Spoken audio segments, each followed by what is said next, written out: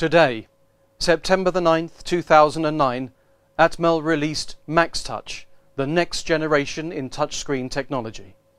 In the next few minutes, we're going to show you how this will kickstart a whole new era.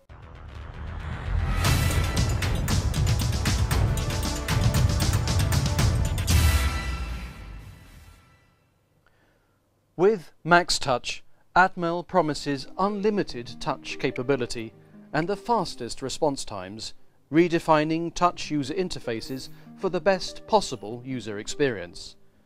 They promise the lowest power consumption and cast iron robustness for the most enduring and reliable mobile performance. We too ask, how is this possible? Looking for answers, we took a trip to the Atmel Touch R&D facility. MaxTouch is a great new technology that lets customers use this advanced capacitive sensing methodology for all of their touch control applications. MaxTouch lets you sense unlimited numbers of touches on a single panel. This is really critically important for many applications. In addition, it's very immune to noise, is very robust in many kinds of sensing applications.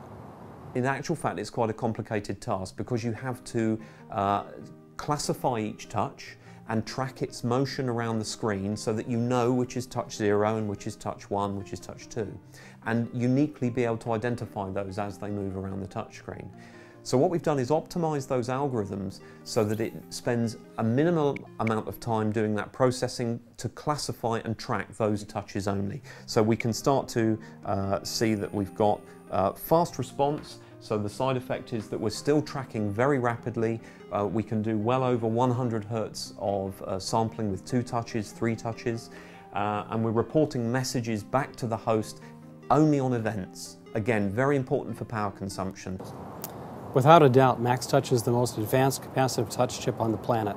For the first time, incorporated into one piece of silicon are all the advances that we've made in the past 13 years, including cost reduction, reduction in the number of external components, high, high node count, uh, noise filtering, uh, advanced signal processing techniques, gesture recognition, a number of things which are, have never been seen before in a single device.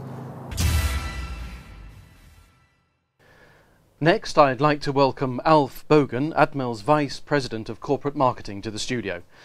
Welcome, Alf. Thank you. How does MaxTouch differ from its competitors in terms of, you know, your actual user experience, as it were? There are many elements with MaxTouch that actually improves the end product. One of them is, is battery lifetime. Mm -hmm. The power consumption of the uh, of the MaxTouch technology is only 10% of some of the competitors. Wow. So uh, and battery lifetime is something you experience every day with, especially your cell phone. Uh, the other thing which I mentioned earlier also is the robustness.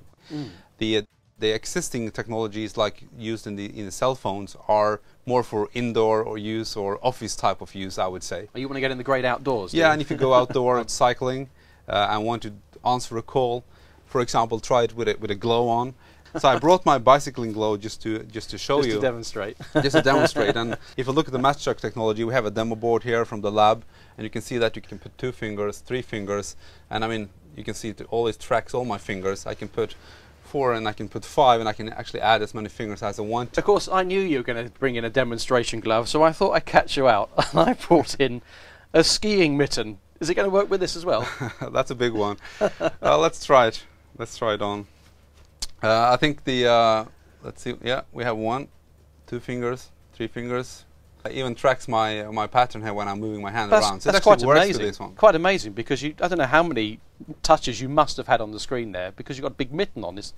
You, know, you haven't just got single points there. No, and that brings up a very important thing too, and that's the unlimited touch capability, and uh, the fact that we can track uh, and uh, as many touches as you you want to put onto the screen or onto the surface, and we can actually in the advanced algorithms we can suppress unintended touches and actually detect what's the intended touch you wanted to, to, to put uh, there. Well, what's the big benefit of suppressing these unintended touches? Now, one thing is, I mean, you saw it with, with this one on. Otherwise you get uh, a mess, yeah. But other things that when you are holding a phone, you grab it with your hand, so you have touches around the edges of the uh, phone. Yeah. When you put it next to your, your face, you will actually touch your face as well. Mm.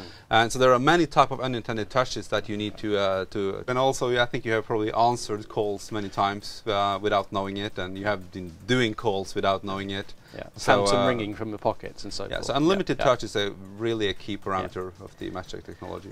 We learned from the video about the extremely fast response time to MaxTouch. But what are the actual benefits of this to end users?